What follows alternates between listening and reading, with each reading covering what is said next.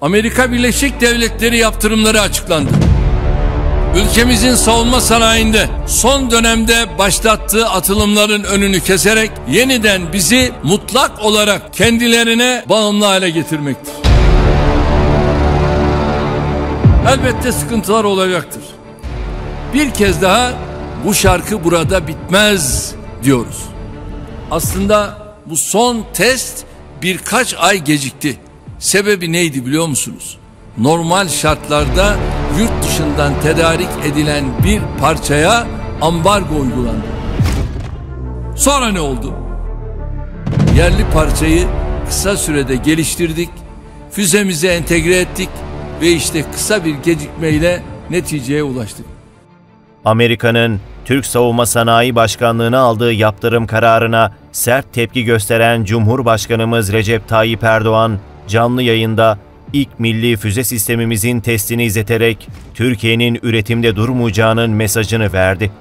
Hisar A artı füzemizin seri üretimi hayırlı olsun. Şimdi tüm milletimizi füzemizin test atışının kısa bir videosunu izlemeye davet ediyorum.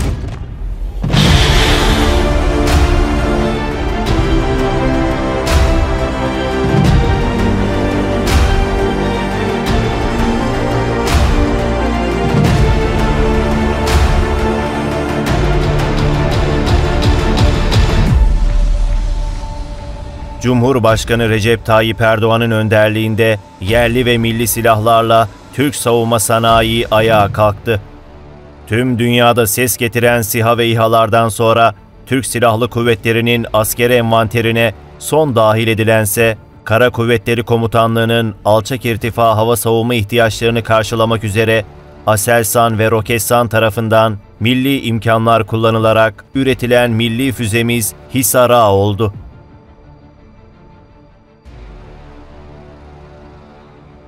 Bu zamana kadar gizli yaptırımlarla, dolaylı müdahalelerle engellemeye çalıştıkları bu işi yerli, milli ürünlerle envantere almaya hazır hale getirdik. Amerika tarafından Türkiye üzerine zaten adı konmamış örtülü bir ambargo vardı. Biz S-400'leri niye aldık? Amerika bize patriotları vermediği için. Bunun adı ambargo değil de ne? ABD şimdi ne diyor? S-400'leri iade edin, biz de yaptırım kararlarımızı yeniden gözden geçirelim. Bal gibi de biliyorlar ki bu mümkün değil. S-400'ler geri verilemez. Ama yine de diyelim ki iade ettik. Ne olacak sonra? Patriotları verecekler mi? Hayır. Size kim saldıracak diyecekler. Tıpkı Kemal Kılıçdaroğlu'nun bize kim saldıracak dediği gibi. Daha dün Kanada İHA'larda kullandığımız lenslerin satışını durdurmadı mı? Al sana ambargo. Teslim mi olduk peki? Hayır. Aselsan o lenslerin daha iyisini üretti çok şükür. Aynı durum motor ithalatında da yaşandı. Vermediler. Biz de oturduk, kendimiz ürettik. Amerika söz geçirebildiği tüm ülkeleri Türkiye'ye savunma sanayi ürünleri satmaması konusunda uyardı. Etkili de oldu. Demem o ki en az 3 yıldır Türkiye adı konmamış bir ambargoya maruz. PYD, YPG'ye 50 bin tır dolusu silah veren sözüm ona dostumuz Amerika bize yaptırım kararı alıyor. İzahı var mı Allah aşkına? Ne diyordu Kemal Bey S-400'ler için? Dünyanın en pahalı hurdası. Amerika ne diyor? Ya iade edeceksin ya da hurdaya çıkaracaksın. Kemal Bey maşallah sözcü gibi. Çünkü o kadar emindi ki S-400'leri Türkiye'nin kullanmasına izin vermeyeceklerinden, gerçi Kemal Bey 15 Temmuz darbe girişiminin başarıya ulaşacağından da çok emindi. O yüzden sığındığı evde duşunu almış, kıyafetlerini değiştirmiş, kırmızı kravatını takmış, kahvesini yudumluyor, olan biteni ekrandan izliyordu. Kemal Bey gibi düşünen diğerleri de daha en baştan Erdoğan S-400'leri alamaz, diye iddiaya giriyordu. S-400'ler alındı ama bu kepazelerin yüzü kızarmadı.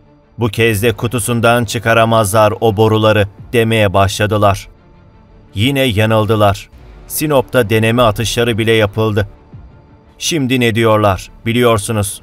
Neymiş? S-400'ler niçin kullanılmıyormuş? S-400'leri gösteri yapılacak havai fişek zannediyorlar galiba. Aslında mesele dünkü videomuzda da dediğim gibi S-400 değil, mesele Türkiye. Biden'a bel bağlayanlar iktidara gelebilmek için yıllardır aynı türküyü söylüyorlar. Suriye'de ne işimiz var? Doğu Akdeniz'de ne işimiz var? Kıbrıs'ı Kıbrıslılara bırakalım. Serrac'ı niçin destekliyoruz? Sisi ile niye kavgalıyız? S-400'leri almayacaktık. Dedim ya, maşallah derin Amerika'nın sözcüsü gibiler. Diğer yandan Rusya'dan ve Pakistan'dan ABD'nin Türkiye'ye yönelik yaptırım uygulamasına tepkiler yağdı. Pakistan'ın Türkiye'nin bölgesel ve uluslararası barış ve istikrara yönelik paha biçilemez rolünü kabul ve takdir ettiği vurgulanırken, İslamabad yönetiminin ABD'nin Türkiye'ye yönelik yaptırım uygulaması konusunda derin endişe duyulduğuna dikkat çekildi. Rusya'dan yapılan açıklamada ABD silah ihracatını siyasi baskı aracı olarak görüyor. Ancak karmaşık Amerikan silah sistemleri ihracatı bağımsız dış politikayla kıyaslanamaz diye Rusya, Erdoğan'ın çok vektörlü dış politikaya geçmesinin ardından Türkiye'nin Çin, Rusya ve Güney Kore gibi çeşitli ülkelerle askeri teknik bağlarını güçlendirdiğini ve dolayısıyla ABD ile cepheleşmenin kaçınılmaz hale geldiğini vurguladı. Ve videoyu bitirmeden önce son bir not. Yaptırım kararlarına sokağın tepkisi sert oldu.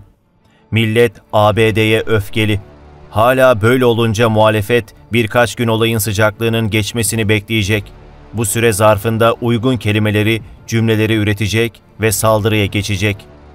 Türkiye'nin hiç dostu kalmadı diye söze başlayıp bu yaptırımları hak ettik noktasına kadar gelecek. Faik Öztürk iki hafta önce Kemal Bey başından beri S-400'lerin alınmasını istedi, yalanını söyledi. Kemal Kılıçdaroğlu yarın ben almalıyım demiştim diyecek. Diyecek, emin olun. Türkiye artık bu tür yaptırımlarla kilitlenip kalma noktasını çoktan geride bırakmıştır. Elbette sıkıntılar olacaktır.